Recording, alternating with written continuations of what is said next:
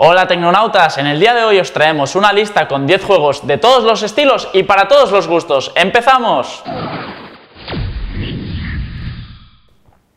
Antes que nada debéis saber que os dejaremos en la descripción los links para ver el tráiler y también para descargaros directamente el juego.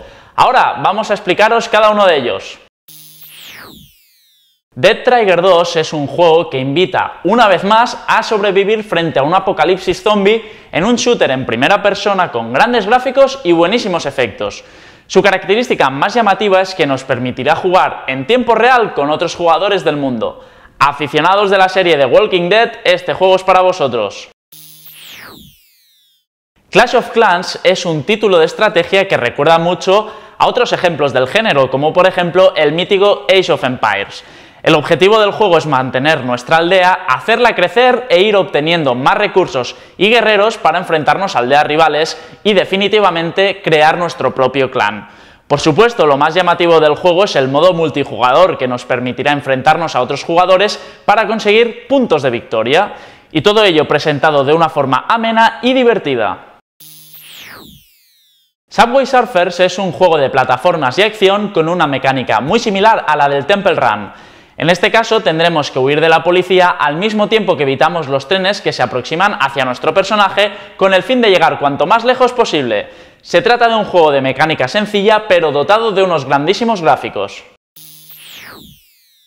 La famosa saga Angry Birds se pasa a las cuatro ruedas y aterriza con un simulador de carreras al más puro estilo Mario Kart, en el que el realismo queda a un lado para apostar más bien por la diversión y la completa locura.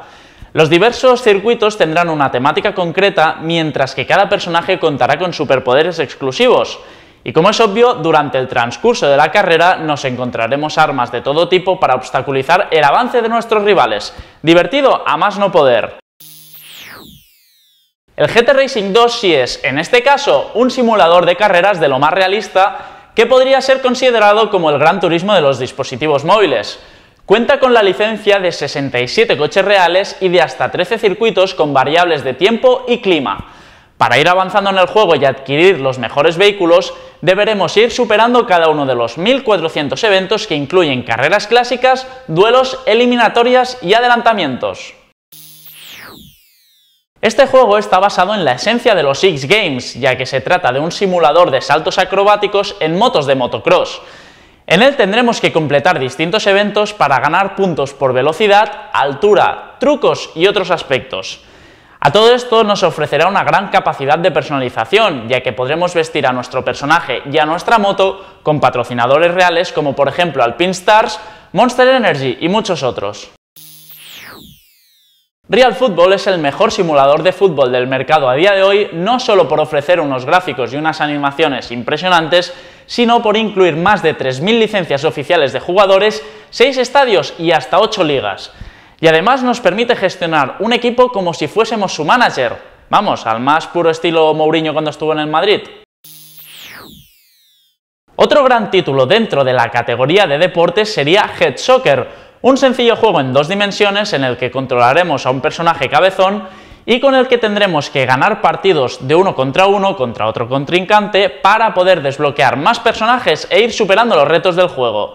En total hay 42 personajes con sus respectivos superpoderes y hasta 4 modos de juego distintos.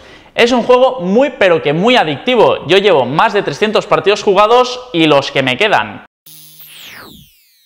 Lazors es un título de lógica y estrategia en el que tendremos que desplazar unos bloques para que el láser se refleje y alcance el objetivo marcado.